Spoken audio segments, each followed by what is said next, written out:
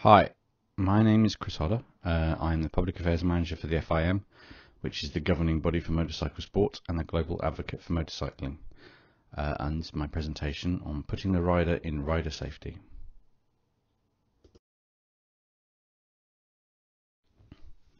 So a little bit about me. Um, I grew up surrounded by motorcycles. My dad's a keen trials rider. I've been riding on the road for about 16 years. Uh, first motorcycle was a Hyosung GF125, and then I had a Kawasaki and a Yamaha, and now I have the Harley that's in the picture. Uh, I worked for seven years for the British Motorcyclist Federation as their government relations executive. Uh, as part of that, I was involved with the FIM since 2008 when I attended my first meeting in Durban. Uh, after this involvement with the BMF, I went to work as a public affairs consultant for the motorcycle industry the MCIA, as you might know them. Um, I did that for about six years, and then after a brief period working on something else, I started working for the FIM. The position came up, uh, but I only started in September, so most of this work is actually other people's work that I'm presenting, but please forgive me for that anyway.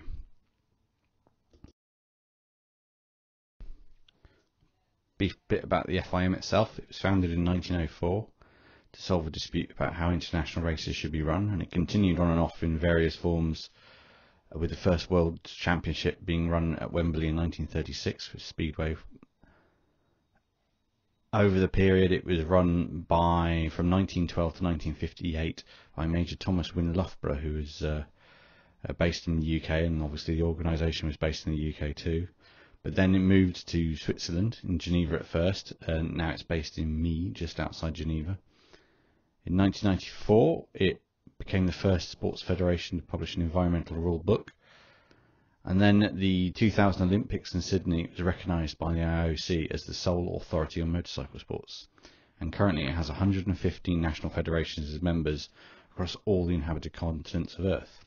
Just in the picture there is 1912, when one of the instances where the organisation was reconstituted, and that's in the centre there with the cane is Sir Arthur Stanley MP who, because the, who became the president from 1912 to 1924, as well as being chairman of the Royal Automobile Club and the British Red Cross. Uh, the FIM is split up into two main areas, sport and beyond sport. I've also included a, a notional segment on support because it supports both the sport element and the beyond sport element. But just to break those down a little bit further, so the sport section is has um, commissions on road racing or circuit racing, as you might know it, motocross, trial, enduro, cross-country rallies, uh, track racing, uh, which is more sort of grass track, and e-bike, which is a new section uh, working on electric mountain bikes and electric bicycles. For the support element, it's more um, as an international technical uh, committee women in motorcycling, uh, international sustainability, international medical, and international judges who obviously judge whether the rules have been broken in any of the sports. And then on the beyond sports side, there's tourism and leisure, and there's my section, which is mobility, more on which in the next slide.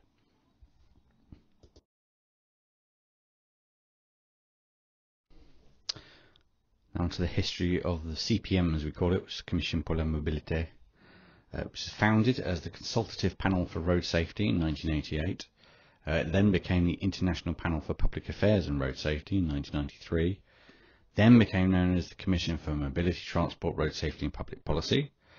Then this was simplified, uh, became the Commission for Public Affairs, and this year, 2021, it's now changed back to the Commission for Mobility. Uh, its focus is obviously on road safety, um, but it also has a global uh, outlook. So we're not simply European or, or UK, uh, cover the whole world, and therefore we've got members from Colombia, Ukraine, Jordan, USA, Morocco, and obviously several European countries. Uh, a lot of our work is actually coordinating activities across the regions, because different regions have their own sort of mirror committees of, of CPM. As terms of membership, we have a medical doctor, uh, general secretary of a rider club, motorcycle trainers, other professional lobbyists, uh, university researchers, and uh, generally um, we look at the issues across the world and Europe and try and find common approaches. Part of our work is also making recommendations for the FIM Road Safety Award, which are then judged by an independent panel. Uh, the UK's Sharp scheme for helmet rating was one of the a recent recipient. Most recent recipient was the MotoCap clothing rating system in Australia. And we also hold events. So in 2019, uh, in, in, the picture there, there's the FIM annual EU policy debate, which we held in Brussels in September that year. It's probably the last event I think we did. Uh, and there we had a panel of people, including, as you can see in the picture, Matthew Baldwin, who's the head of road safety for the European Commission, and we talked about driving licenses. So Riders Helping Riders has been part of motorcycle culture since day one. Early motorcycles were quite unreliable uh, and therefore the bikes used to break down quite often and riders would have to stop and other riders would come and help them out. Um, the reliability of motorcycles was such an issue, as it was with cars at the same time, that most of the early events were actually reliability trials to see how long your vehicle would last in certain conditions. One of the big events in the early days was the International Six Days Trial. That's the trophy of it in the picture. Um, and then, as awarded in 1920, that's now known as the International Six Day Enduro because most motorcycles are, are that reliable that we really have to test them hard now. Uh, one of the earliest motorcycle clubs is the Motorcycle Club, founded in 1903. This still runs reliability trials. Rider training um, is a good example of riders helping riders. So most around the, most places around the world, rider training is literally one rider showing another rider or new rider how to ride a motorcycle. It's all peer to peer. Uh, we use the same system in the UK. Um, they use the same system in Colombia, and it works very well. SIGS Extended in the UK, we have a scheme called Bike Safe, where police riders show riders what they're doing wrong, and that's quite well respected because that's peer-to-peer training again. But police riders are accepted as being very advanced riders, and therefore what they say tends to be um, well received by motorcyclists. Also, in other parts of the world, uh, deliveries by motorcycles are quite popular. In Brazil, they're known as moto boys, uh, and they form trade unions to show how road conditions should be improved, and they have been known to hold protests and, and block up cities simply to improve their own safety. So, it's quite a big part of riding culture. As a racing organisation, the FIM is very interested in the safety of the participants in its own sport. So the FIM Racing Homologation Program started out life as the FIM Helmet Certification Program in 2016 with support to helmet manufacturers. This was created to raise standards of products used in racing. Um, that helmet homologation is now a requirement for all the racing categories we run, uh, and it became one in 2019. And it's important to note that racing requirements are not always the same as road requirements. The safety implications are slightly different between the two but we have used the knowledge that we gained in this area to raise standards for all riders. So, for example, we're working on, with the UN on the UNECE uh, R2206 revision, which covers all the motorcycle helmets in use across the EU and various other countries around the world. Uh, a second stage of homologation is now underway, which is intended to improve the standards of off-road helmets used in the sport. And obviously, that will be of some interest for off-road riders generally. It's probably also worth noting that we're collaborating with the FIA on the requirements for circuits because we share many of those circuits. So we've started working on homologating paints. Uh, got two homologated paints there on the slide. Uh, lights, we just homologated a lighting system um, from January this year, and we'll, we'll be working on barriers and other things in the future as well. So if you want to know what high quality equipment you should put on the road, the FRHP is probably the best place to look. Technology is obviously a big part of motorcycle sport, and the FIM has been at the forefront of pushing for things like traction control, better tyres, better clothing, better suspension, and all sorts of more obvious things that make you go faster. But also, we worked on stuff um, outside of racing, such as pushing for ABS on road bikes across the world. Another area of work we worked on is the Connected Motorcycle Consortium, which is an industry body working to come up with technology standards where cars and motorcycles can communicate with the obvious advantage of things such as in the slide there motorcycle approach warning which tells a car that might not be able to see that a motorcycle is coming. Uh, we published a standard on that towards the end of last year and uh, it looks like a good technology for the future.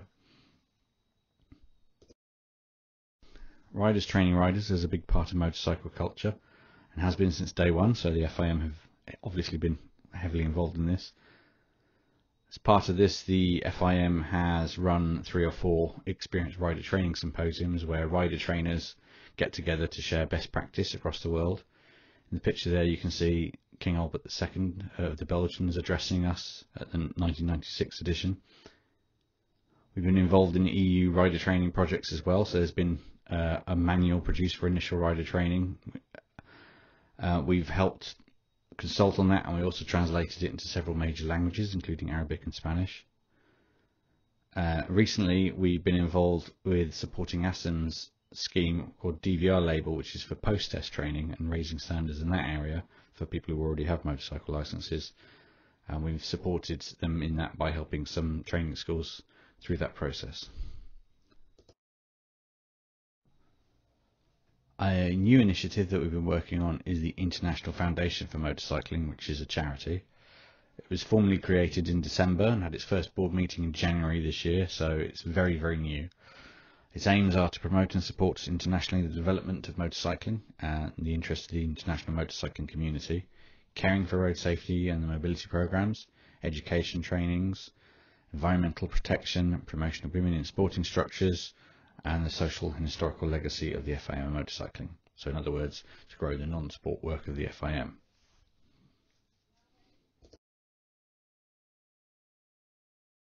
We've talked a lot about helping riders, but riders are actually the biggest advocates of their own safety. Motorcyclists spend a lot of money on being safe. Um, spend hundreds of pounds on helmets, because helmets can range between 50 to a thousand pounds and that's the only compulsory thing. So things like leathers, which can leather jacket can cost between 120 to over a thousand pounds. Trousers and boots and gloves are all voluntary. Uh, new technologies such as ABS, uh, cornering ABS, um, off-road ABS, all that's mostly voluntary as well and quite expensive. Post-test training, a lot of people spend learning on that. That's also voluntary. So overall, motorcyclists spend a lot of their own time and effort into keeping themselves safe. Uh, it isn't always the case, but usually it's the barrier of time and money that, and not necessarily the attitude that is the reason they're not taking an as keen an interest as it would appear. Um, so part of this is also the peer-to-peer relationships. So clubs that motorcyclists form are often spend a lot of their time talking about safety, especially if they're a local club. They'll talk about local road conditions um, those clubs are a great way of networking and getting into motorcycling if you need to uh, share a message there. So I would suggest that if you're working in road safety and you want to get the best information to riders and from riders, doing it through clubs is the best way. And that's me done. So if you need to get into contact with me, my email is christopher.hodder at fim.ch, fairly straightforward.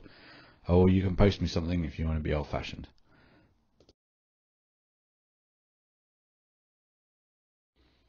Thanks for your attention.